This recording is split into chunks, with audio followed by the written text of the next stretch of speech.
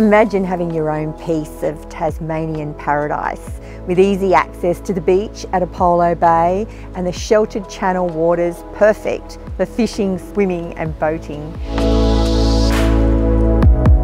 This generous acreage is beautiful natural bushland and ideal for a weekender.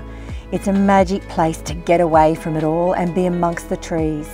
On over 33 acres, there's plenty of space to send out invites to friends for a waterside camping experience.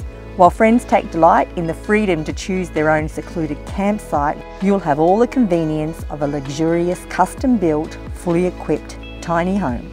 The quality of this off-the-grid tiny home will exceed your expectations.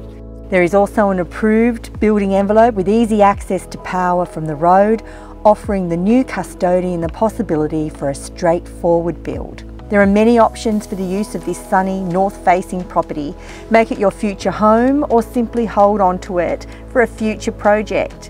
This property is in a quiet, no-through road and its peaceful environment feels like you're miles from anywhere and yet the Bruny Island Ferry is only five minutes away. With Hobart City, a 35 minute drive from Kettering, this property is a realistic escape. It's not too far from anything, including the airport. Whatever your desired option, this is certainly a great opportunity in one of Tasmania's most stunning destinations and I hope you give me a call.